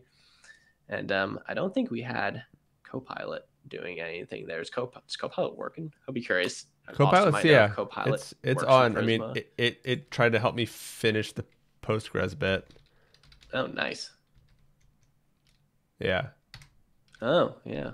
Yeah, Huh, it did, that's cool. Did, help me so there. now if we see the migrations folder in in DB, we can see Got that. Yeah, and then migration. So there's the SQL it's gonna write for us. Okay, cool. Very Yep. cool. All right, and now we're gonna do one more command. We're gonna do yarn space rw space g space scaffold. Yep, space and then post. Okay. Yep. Run it. Yep. And what this is going to do is this is going to give us like a whole admin UI for our posts. So now go back to or run yarn redwood dev again. Okay. I do like the built-in admin UI that Django had. So if you have that, that's wonderful. Um, Yarn Redwood Dev. Yep. Yep. And then we're going to go back to localhost 8910 and then we're going to do forward slash posts forward slash new. Eight nine ten. Forward slash posts. Oh, Yep. Yep. Huh. And then create a post. title. Uh, Anthony is super cool. Wow. And then- That's our our thing. So right now this isn't set up to actually like work with the front end at all because the front end is not really important for this project because what we're going to do now is we're going to deploy this to Netlify and then it's going to then put the API into a serverless function. It basically takes your entire Redwood backend, bundles into one giant function, and then exposes that through a Netlify function. And then we're gonna feed that into That's wild. That is Yeah. wild. Okay. Wow. Okay. Yeah. So I'm just trying to like wrap my head around it. That's really cool. Um, Mhm. I just like free admin stuff. Um, Yeah. honestly, like I, I like getting this for free in a thing. Um, this can come in handy in so many different ways. Uh, and this is just a layer over my Prisma database. Wait, who owns the Prisma database? Uh, is So Prisma always is hosted? Railway. Oh, oh, oh! It's So- Railway. Sorry, Yeah. mhm, Yeah. Yeah. There's Um, a lot of, oh, a lot right. of moving pieces here. we we grabbed go that. Yeah, yeah, data. yeah, yeah. It So was a data right there um. in your in your railway. So yep, uh huh, and then post. Anthony is There super cool. All right, cool. I love that. I really love that. That it's just a nice little abstraction uh, that I get for free um, on top of. ah, it's so good. Awesome. All right, so uh, we want to deploy this, is what you said, right? So you want to basically get it on a Git repo and then connect that Git repo to. Oh, sorry, one more one more command. So we Okay. gotta set up the the deployment. So you're gonna do yarn. You can turn your dev server off. We're not gonna need that. Uh, am I even in? There we go. Yeah, so then do yarn space rw space setup space deploy space and then netlify. Cool. And It's off screen a little bit. Let me. yeah, Yeah, that's good. Yeah, so then run that, and this will generate uh, a netlify.toml file for us.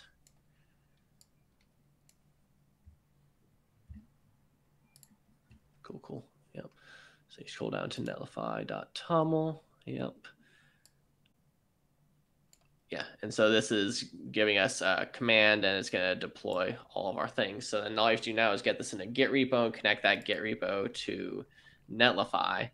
And then you'll also have to include your database URL. But I can let you know how to do that once we once we get there. Cool. Um, do I have GitHub? I do. Do you know how to like? I do. So Okay. gh repo create and then give it a name. Like and then it used to just work like this, but now you gotta do space dash dash public. okay.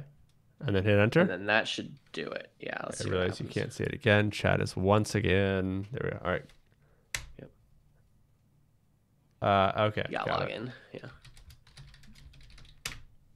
Uh, Yeah, I do like this this workflow though. I've started doing this. HTTPS, I guess. Authenticate Git, yes. Login with a web browser, sure. Should I be showing this on on stream? I don't even know. Um, Probably probably not. device activation. All right. All right, should be good. All set. That shouldn't last more than a second, I think. Cool. Authentication complete. Awesome. I'm gonna run that again.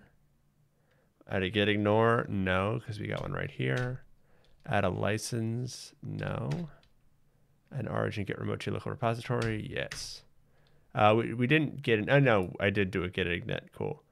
Git ignit, that's not how you say that. Uh, Get ignition. all right, cool. Um, so now we just get push. I know Did we you, did do a uh, commit. add and commit. Yeah.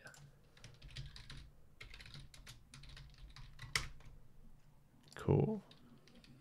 Uh, why we didn't switch over from master? So do a so do a get add dot just get add dot space dot yep and then git commit dash m and then just give it a I- message. I I already committed everything. Yeah. Oh, you did okay. Yeah, it just says public bra- you- publish branch because we're on master. Um, and I think it probably Do you do main. git status real quick? Okay, great. Yeah, push it. Or you set set the remote and then push it. Um, just get set remote. This is the one I always will grab. yeah, I honestly I always just copy and Yeah. paste from GitHub. Yeah, yeah, Um, let me. yeah. Because you should have a blank repo there now. Yeah, I'm not sure if I'm logged in. I am logged in. Cool. So horse. Nope. Fine. Yeah. Horse Zen. Cool. Yep. Um, Perfect. Yep. So it's those last two commands. The yeah, set the remote. all right. Should be good. I think. Okay, cool, great. Sweet. Yeah, I think the the, the GitHub CLI set it for you already. Awesome. Now Netlify. Yep. Should have probably used a .com or something. Log in. I'll pull this off just in case I need to do anything. Yeah, can you refresh that just to make sure that actually the project is there and Yep. whatnot? The the GitHub one. Yeah. All right, Yeah. great. Add new site. Import an existing project. Cool. So adding from GitHub. Authorized. Sweet. Uh, horse. Zen. Sweet. Okay. So now it's probably gonna And then make me. here's where you're gonna add your your database. You're under show advanced. So everything is good. Don't change anything, and then add new variable, and then that's where you'll grab the database underscore URL and then put it Cool. in the for the All value. right. So I'm going to do a little bit of this off screen. Actually, you know what? I'll do it this way so it's a little bit easier. Chat, how's it going? Um, you get to see us nice and large for a second because there's not much else to show. This is just easier. Um, oh, I'm in the wrong code repo in general. All right, so that was under my .env database URL. Pasting that in, and then getting the URL. Running the whole gamut of services today. Yeah, right. Um, okay, so it is in and it's hidden, so we can actually. I- The cool thing is, I could have done that on. Because Netlify, you have the, the extension to hide it from theirs. Yeah, I've I'm I'm hiding it here and they're hiding it there, so that's the cool thing. Could have done that. Sorry, chat. Sorry. You you you, you didn't miss much though. Um, all right, cool. So re- it looks like it's Great. detected the build command already because we have the Yeah. Netlify TOML, right? Because that is That's what right. it's reading. Awesome. Yep. So Mhm. deploy. Yep, deploy. And then this will take like probably like five, ten minutes. So Oh, while okay. that's going, we're going to set up the the StepZen schema. So let's go back now, back now, to our quick. So quick question: did- Is that going to be every time Redwood is like every time I push a change, it'll take like five to ten minutes?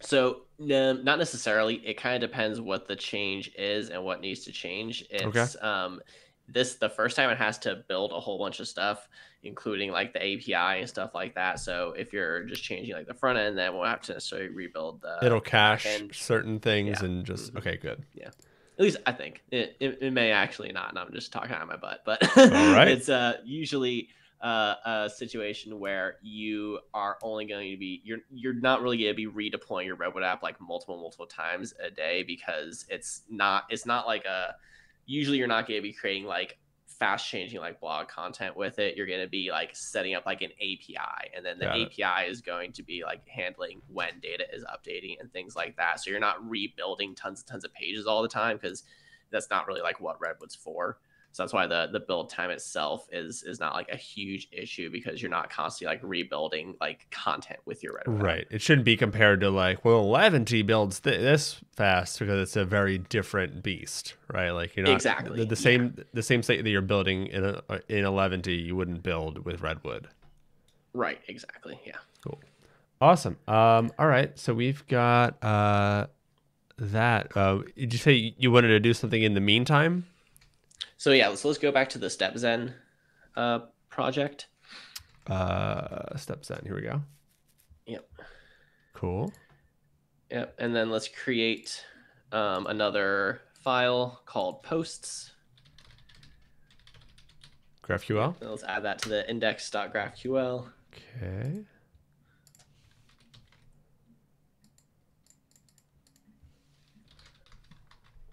Got it. Yep. And then now this will be a type post. Yep, which will have an ID, which is just int exclamation point, Cool.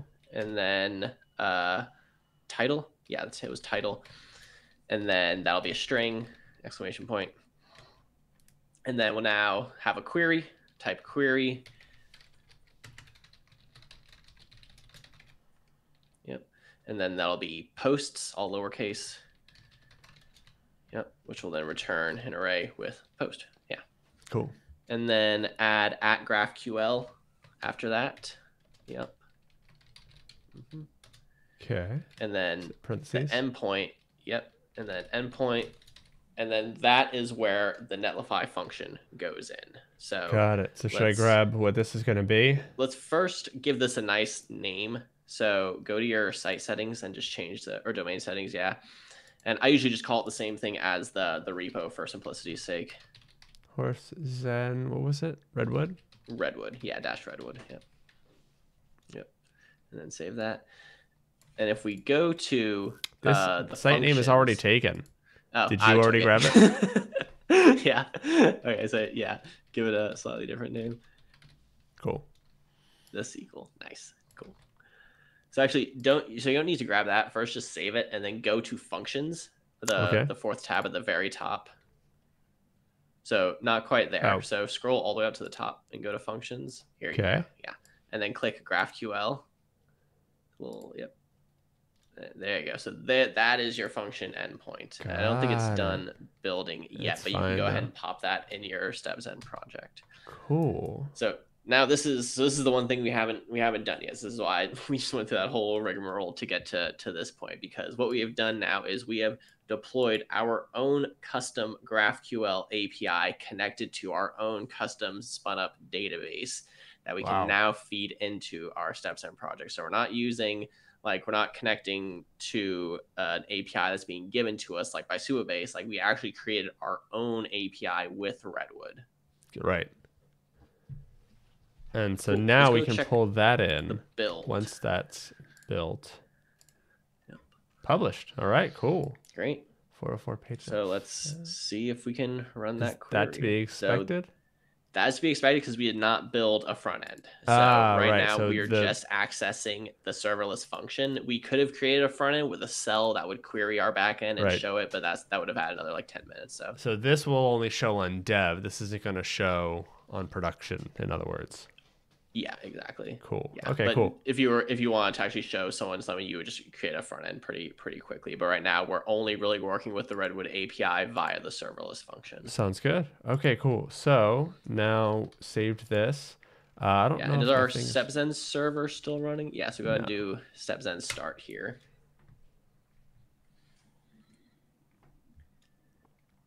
And then this is where, if the the redwood one works, might want to kick that off and just try it again. Uh, What would you like to? Oh, that's interesting. Oh, you're in the wrong uh, directory. I think. Ah, good call. Uh, CD step zen. Cool. there we go. Okay. Yeah. We did leave it to create that other thing. Cool. Yeah. All Yeah, right. so Deploy. If the redwood query works, then we can run mega query, which will be all the queries. All right. Nice. So this is posts. Yep, ID title. And then did it work? Wow. Cool. Deal. God, so make- that's coming from from Railway through our Redwood JS API. Yeah, Through being deployed onto a StepZen. Netlify function. Yeah. Wow. That's wild. And and I and I added that in with the Redwood admin thing and that wrote yeah, that's just there's a lot going on here. And so we also have our test. So this test data is coming from uh StepZen's mock service, correct? Yeah. Uh huh. Um, and then we also have this mock users, which is coming from just this public REST uh, API hmm that we can hit. We get a bunch of users back from that. We also have the Rick and Morty API here with uh, a whole bunch of characters that we can query. We get ad- Educator Rick, lots of these these characters that I don't know, f- familiar with some. Um, and then books, we should get the Old Man and the Sea in here too. And the book, uh, that was one that we we wired up That's a from Supabase. mutation with Supabase and created that Mhm.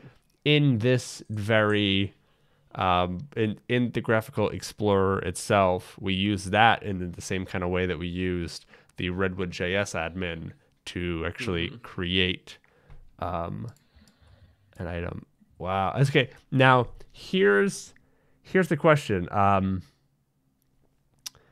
is there anything nice that we can do either with GraphQL or with StepZen where, um, say, all of this data was more interconnected, right? Where um, I, you know, like, like I'm, I'm thinking of use cases where I have some. Whoa, Cynthia! Thank you so much for the sub. Really appreciate it. It's great to have you here, and uh, yeah, really appreciate the support. Thank you so much.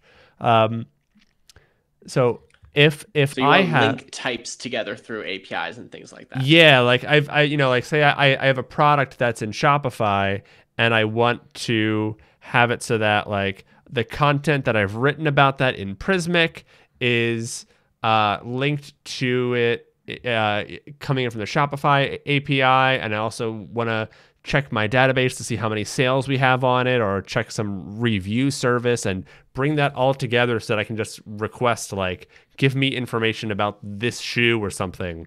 Um, and kind of not have to make all these different requests, just pull that in with StepZen. Is that something that StepZen does, or that's that that just GraphQL natively does, but StepZen unlocks because it's giving me this one API Yeah, so to there's hit? a couple directives that we didn't talk about and that I included in the chat, particularly the at materializer and at sequence. So this lets you actually link So at materializer can link types together, and then at sequence lets you feed in the output of one query into the input of another query. Okay. So you can chain queries together also. So there's there are other things built in that let you do more kind of complex stuff like that. Awesome. Okay, so so that it it definitely is possible because of so like is at sequence. I think Cynthia asked it earlier. Um, is is at sequence a uh, StepZen specific thing or is that a GraphQL thing? Yeah, so all of the directives are the StepZen specific things. So Awesome. anytime you're writing the at symbol and then a thing and then feeding something into there, that is something StepZen is doing for you. Anytime you're writing types or queries or mutations, you're just writing GraphQL. So the boundary between the two is is actually pretty clear once Okay. you start working with them. Got it. So that's a StepZen thing. hmm Okay, cool. Yeah, because that that to me is where like, you know, our our example here is like we can get books and Rick and Morty characters and it's it's it's fun, but like the power to me comes in where I have all these different services because like like I've uh, at at the agency I worked at we had to pull in review data about this like, like about this pet food but also had to hit another API to see where that pet food was sold and like you know all all all these different services. And that's a big thing with a Jamstack where you're connecting all these different things. There's not like a you know there's not typically one service that handles all those different things. But we had to connect all these things and it was just uh, it, it it wasn't fun to do that as a front end developer. I wanted to focus on other things. So StepZen as a service to not only combine all of those things into one API, but also allow me to um, through sequences. And I think you, you said one one other thing. al- Materializer, yeah. materializer allow me to kind of combine that into one query of like i just have to ask for like this specific pet food item and i get back uh, you know the reviews for it where it's sold uh, you know like, like its its locations how much is in stock all, all the things that i need to display in my front end um, that is kind of the dream and that that is really really nice that i can do that with StepZen Yeah.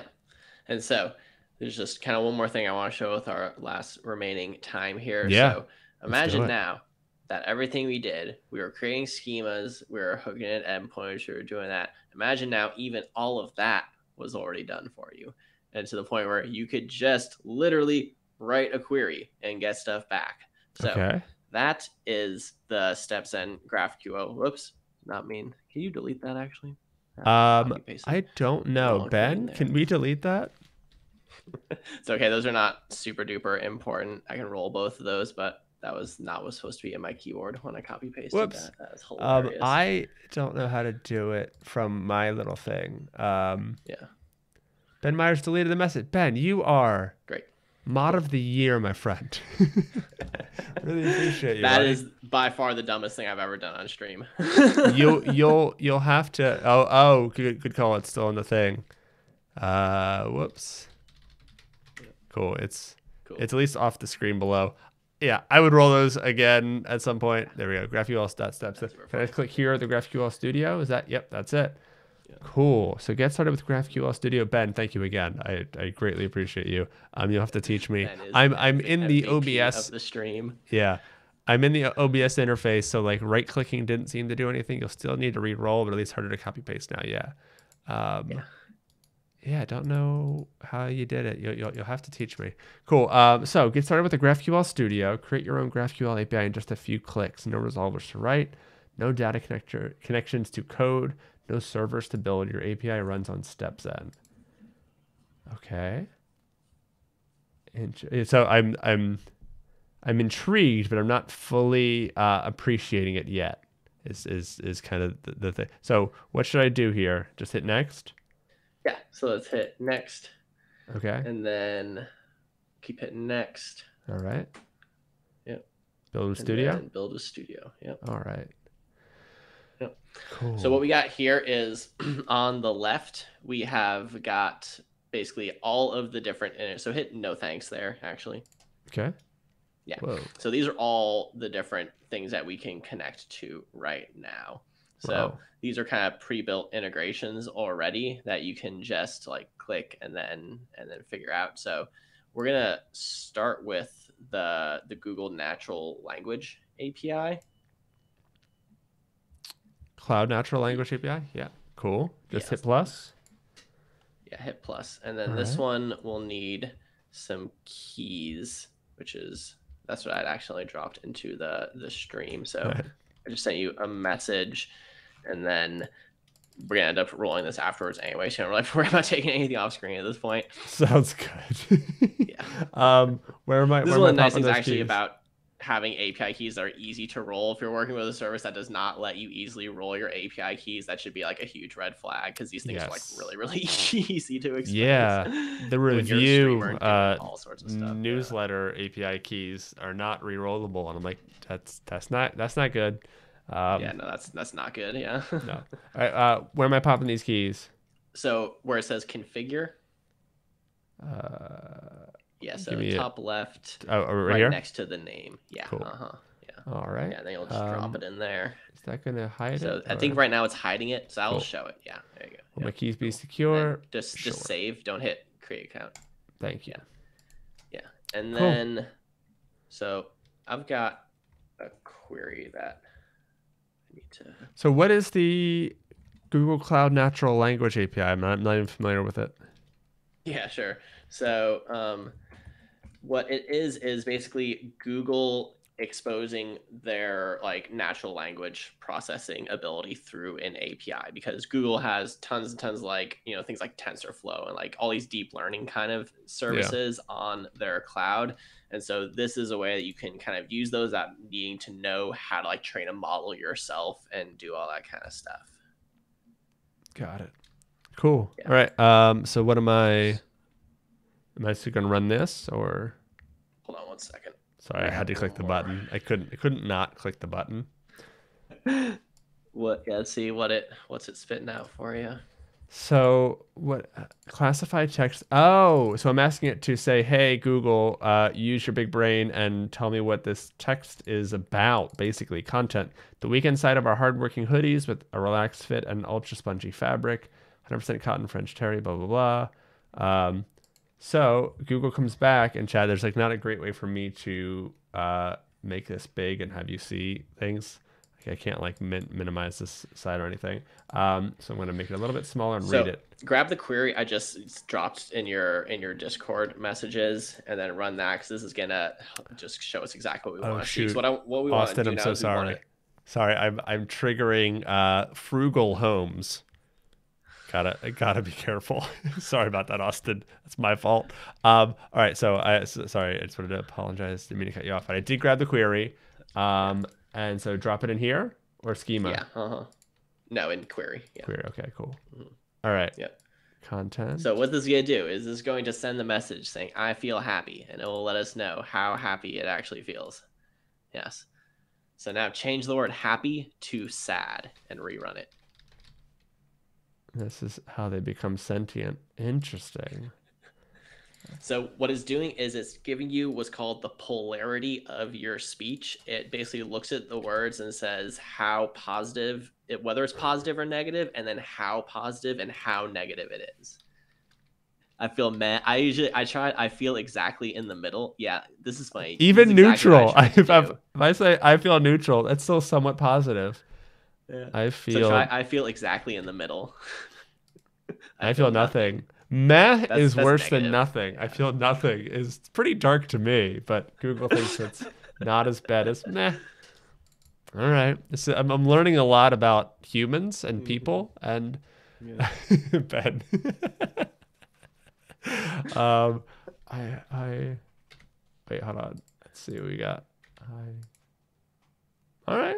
It's a step in the right direction. I wonder if spaces matter. Nope, spaces don't matter. This is interesting. Okay, so analyze sentiment. That's funny. The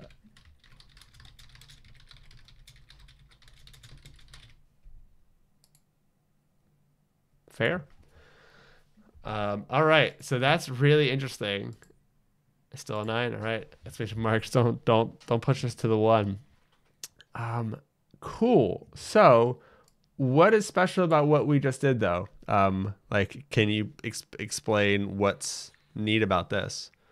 Yeah, so if you click over to where it says the schema now, so next to query, yeah. So what you see here is that this is what we have been writing throughout the course of this whole episode. We've been writing these GraphQL schemas, and then if you keep going Ah. down to query eventually, then you'll see where it's actually feeding in the endpoint itself. And so this is like all of this GraphQL code that has been written for you. So if you don't want to connect your own bespoke API, you just want to deal with these services that are already known quantities, the Got schemas it. are all there for you. You don't have to write a single line of GraphQL to do this. Got it. Okay, so basically, if if I'm understanding this correctly, um, and if I can, is there a way to make this part bigger? No. Um, so this is like, hey, um, you you you- you're almost doing like a uh, like an if this then that or a Zapier kind of thing where. Uh, hey, these are all a bunch of very popular APIs that you might want to hit here's that integration and now you can write the queries without having to come up with, with the schema itself it, it it feels like where zapier is a no code solution this is still a code solution but a less code solution. Is, is that kind of accurate? Where like i would love to integrate with trello and spotify um, but i need more than what like a, a zapier would would give me. Um, I I need a bit more of a like nuanced um, query or or just I I need to actually write some code here, but I don't want to go through the pains of actually like integrating with Spotify and assume this is gonna make me go get like it. Oh whoa, did that just? Oh wow, is that gonna actually work? Oh, so I would, you might need a Spotify key. So That's what I thought. Yeah yeah yeah. mhm, yeah, Absolutely Yeah, yeah. would would need to configure. I'm I'm not gonna go get one. I was just clicking around, but that's No, that's cool. awesome in that. That- yeah. yeah. And so there was one other one that I wanted to show. So add in the dev.to one. Dev.to. Yeah. This is great though. That like, Mhm. all right, configure to have two API Yeah. key. Should I go grab one, or you, did you drop me one? I, I dropped you one. Yeah. Cool. Yeah. Thought I did see it in chat earlier. Nope. Yep. uh, cool. and then so, I have and then I have a query to so for this one basically what you do is you have a get comments by yeah let's try that one so what I'm going to do is have it return comments on an article specified with the article ID and then the reasoning for that Ah. is because the goal here, or what I've already kind of showed how to how to do in in a blog post, is that you are able to chain the query that gets you your blog comments into the yeah. So I got that before with um for for some reason I have another another one that I was testing, but the comment it shows actually has a swear word in it, so I don't want to have that pop up on screen on screen either right now yeah. but um, I think that's just that's just because of the the ID that we're that we're feeding it. So I want to see. hey. This is the one thing that's kind of challenging about the dev uh, API is because you need to work with with the ID specifically. Let me try and find really one of my articles that has has a comment on it already. Click what Ben dropped in chat. I have no. yeah, that was it's definitely the mood there, Ben. I agree. All right, we're here. Um, interesting though. See, I thought this was like someone responding to me for hitting the API too much. Yeah, no, I think that's actually that is actually a comment. Yeah, yeah, that's that's, Yeah. that's what I'm getting from that too. Yeah. Um, did you drop me something yet? Wasn't sure. So, yeah, so that's yeah, this is fine. This gets across the idea. So go to the the thing I just linked. I'm just gonna kind of walk since we're almost out of time. yeah, The the next step you can do is you can then export this project and then extend it with any kind of stuff you want. So what this is is uh basically what we just walked through here. So Yep. keep going, keep going, keep going. and then keep going, and then where it says sequence. Yeah, so right there, and if you uh, bump up your Ah. font a little bit. Yeah. Okay. Awesome. So this is essentially taking the first query or the the get comments by article ID query, and then it feeds it into the get natural language analyze sentiment query, and then it maps the arguments of the content to or the body HTML to the content. So this is like so that's so yeah, and so that's not going to work. no. Yeah, no, because that's so this is needs to be in the schema. So this is why you would need to export the project and then add it in Ah, and then it. spin up StepZen start to do. So there is Got there's a slight little bit of a bit of friction there, but if you scroll down a little more, then you'll see there you can feed in the comment and then this is like a one so it's giving 0.8 Right. and then if you scroll down a little more it's that it's an article that i wrote where there are some salty comments so it has negative 0.04 That's funny. That's really interesting that you can yeah, like use use that bit of AI to assess like which of your posts made people the most happy. Not just like hmm. did they and also do do people engage more with the stuff that they're angry at or the stuff that they enjoy?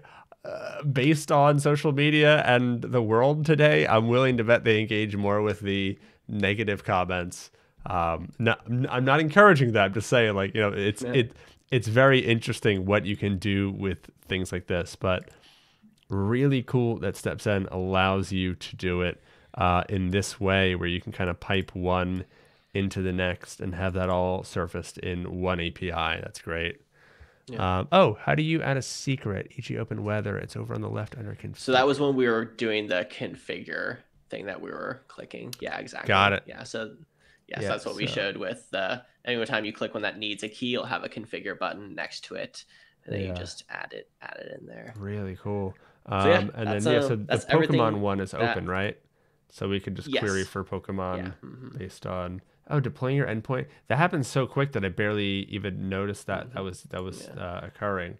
Dev.to queries, natural language, Pokemon queries. I just want to, if you don't mind, uh, yeah oh, you gotta get your pokemons I gotta gotta see how this goes.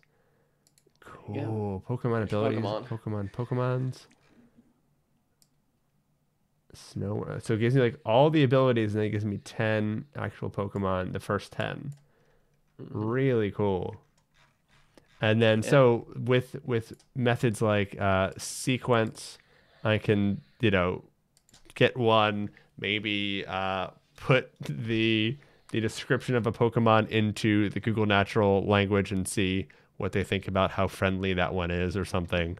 Just Exactly, there's just yeah. lots of stuff you can do here, and then you can also eject this. Is is what you said, or just Yeah, exactly. So if you click the publish button, then it'll publish it for you, and then basically Got that it. just spits out a project that is like the one that we were creating throughout the the first hour. Got it. Oh, and then And you then have these pre-built combinations. Yeah, so these are already kind of combined. So like the social media sentiment analysis fr- brings in some other kind of sentiment analysis stuff, and then do currency conversions. You can Yeah. do image search. You can do all sorts of stuff. Oh, this is cool. Yeah, the Twitter and Unsplash contextual image search for Twitter, Google. Oh, sorry, outdoor dining search, Google Maps plus Open Weather plus Yelp. Really cool stuff. That yeah has those integrations, but doesn't lock you in the way like a um, an if this then that or a um, what's the other one that I kept saying? What's the no code solution for uh, Zapier? Yeah, like like that's what I think of when when I, I think of like combining Google Maps and Yelp. You're like, if if this happens, then do do those things. Um, but this as a way to search and combine different sources of data, uh, and then connecting your own as well. This is so cool, man. Yeah, awesome. I'm glad that you're you're enjoying it. I hope Yeah. that you will find use for it and possibly use it for something. Would definitely be super fun to just get to hack on some of this stuff with you I and love help you it. build something actually useful because this is something that like this we don't want this just to be like a theoretical project. We want people like actually build real useful things with this. So always always happy to get a chance to to show it off and, and show the capabilities and get a get a chance to you know kind of see people's reactions to it. So yeah, this has been really really fun. If anyone has any other questions, feel free to drop them in the chat. But that's essentially everything that I wanted to show. I didn't show uh, like how to build out a front end and connect it to a StepZen API, but we have lots of tutorials for that as well, whether it's a React front end or a Vue front end or a Svelte front end, anything that can make a fetch request can integrate with this. And so, yeah, it's a really great tool as like the the front of the back end is is what I think of it as. People always talk about like the front of the front and the back of the front end. This is the front of the back end. So nice. it's a it's a cool tool to give you access to a lot of back end powers and make you more full stack as a as a front end dev. That's great. Awesome, man. Thank you so much. Um, chat, do we have any questions? I think we've been mostly answering them as we go. I think uh, our friend Disco Did has. anyone wonder a, anything? Um, no, I did not plug it, and I didn't see anyone do that, so I apologize for not. Um, Makes sense. All good. Yeah, it seems pretty seems clear. Pretty clear. Yeah, awesome. Oh, it's awesome. That's good to um, hear because this thing confused the crap out of me when I first learned StepZen. It made no sense for like a month or two, and glad I can hopefully make it a little more um, comprehensible to people. Cynthia says it's great. It's awesome. Disco, are you still here by chance? Because maybe we can take that um, one offline. Don't want to. Yeah, it's like he was asking about money things. So yeah, I, I don't know if I'm going to be the best person. yeah, uh, started giving the due share of profits. It seems like honestly, Disco, uh, this is unfortunately a uh, a lawyer thing, especially if there's real money involved. Um, yeah, you yeah, should talk to a legal made me around two point like mil. Yeah, he's had around two hundred fifty thousand. Yeah, like if there's this much money involved, it's not gonna. I'm, I'm it's gonna be tough, tough for, for me to say. It's, it's gonna come down mainly to lawyers and proof, unfortunately. And I know that's not fun, but um, definitely just reading a summary on, on on a stream, I'm not going to be able to give a uh, thorough answer that's going to hold up in court or anything. So sorry, sorry that you're going Alex through something. Alex like told me. I mean, yeah, uh, it's actually mine, is what I own half the shares. Um, no, but Anthony, this was really cool. Uh, thank you to chat. You you were all fantastic. Really appreciated the questions and just the the uh, yeah, just having having you you all here. And Ben, thank you for uh, saving our butts with that quick yeah, deletion. You are you are top top pro. Uh, Egad, thank you. Uh, and folks, this is in case uh, in case you, you, didn't hear me say it before, the last stream of the year, and uh, I just want to say, wow, it has been a phenomenal phenomenal year. Uh, we started really streaming in February we haven't even been streaming uh, here for like a full year for real. Like we, we did a couple of streams uh, the, the the year before, but but not not really. Um, so I just want to say like thank you so much for everything, for showing up and for uh, being supportive, for asking questions, and for all this stuff. It's been made it to the end of the last stream. Amit, great to see you, my friend, and B1 Mind, Brent, great to see you.